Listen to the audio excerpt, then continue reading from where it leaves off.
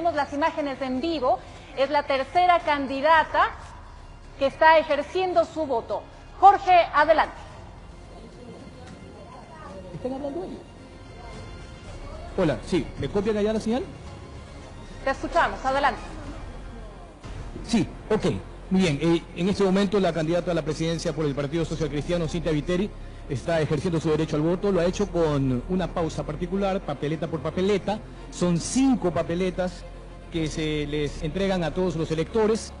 Ella, de hecho, hace pocos minutos, cuando hizo su llegada hasta la Junta número 481 de mujeres del Colegio Nacional Juan Montalvo, ha mostrado una pluma asegurando que cada uno debe traer su bolígrafo a fin de ejercer su derecho al voto. Ahí la vemos a la candidata a la presidencia que continúa ejerciendo su derecho al sufragio. Está preguntando dónde ubicar las papeletas. Ahora los biombos están unidos con las urnas, como podemos ver en este proceso electoral.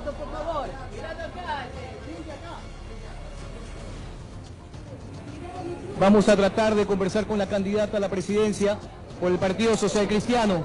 Vamos a tratar, vamos a tratar de conversar con la candidata a la presidencia.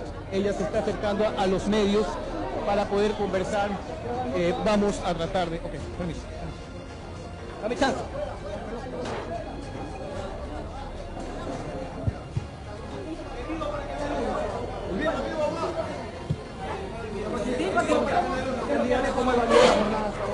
Hasta ahora muy bien.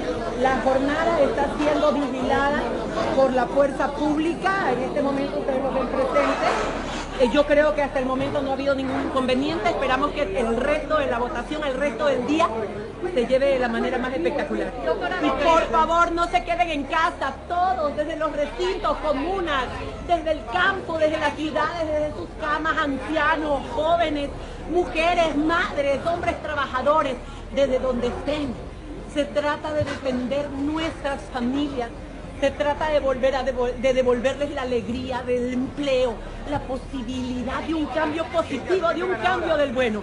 Absolutamente.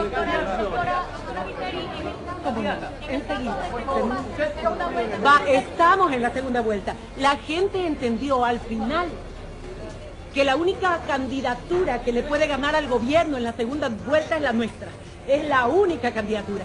Por eso se han volcado a las calles a totalmente. Nosotros el día de mañana arrancamos con el trabajo nuevamente de la segunda vuelta. Ahora me voy a la ciudad de Quito a acompañar a Mauricio Pozo a ejercer su derecho al voto y de ahí nos regresamos juntos a la ciudad de Guayaquil a esperar acá los resultados. Él viene con su familia, yo estaré con la mía, pero en todo caso, les doy no solamente las gracias, ustedes no se imaginan lo que hicieron en las últimas semanas.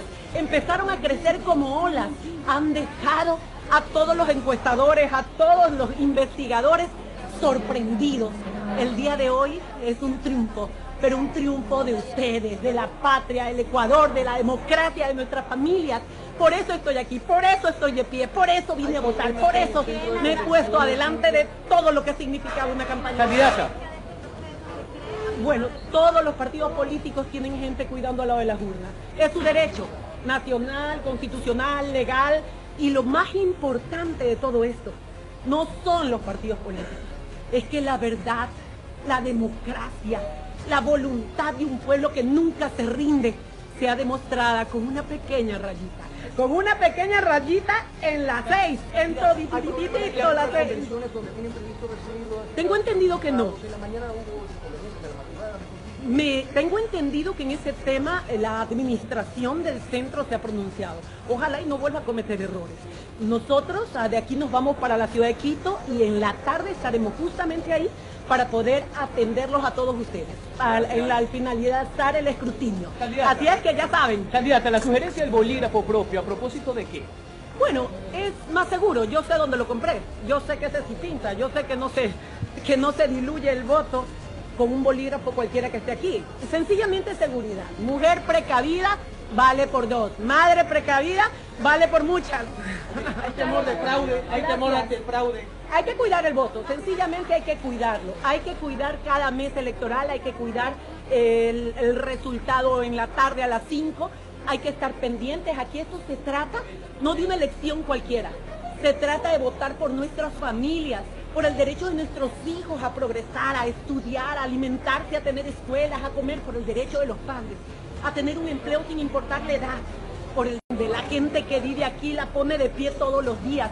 Y nada, ni nadie va a influir, ni plata ni poder, en la voluntad que se ejerce solo a través de este biombo. Ahí está el verdadero poder, ahí está la libertad, ahí está la democracia. hay confianza en los observadores internacionales Es el mismo proceso que con los observadores que se lleva año a año. Ya lo dijo Mujica, aquí de inspectores sobran. Hay que ver que las cosas al final sean exactamente como el corazón de cada madre, cada hombre, cada joven, cada anciano lo determina a través del Dios. Muchísimas gracias y viva Ecuador. Las declaraciones de la candidata a la presidencia, Cintia Viteri, por el Partido Social Cristiano. Ella ya está saliendo del Colegio Nacional Juan Montalvo, ubicado acá en la avenida Carlos Julio Semena, en el norte de Guayaquil. Ella ha ejercido su derecho al voto en la mesa número 481 de mujeres. Lo que vemos ahora en eh, imágenes es eh, prácticamente la firma de la candidata. Vamos a dar el paso de nuevo a Quito. Buen día.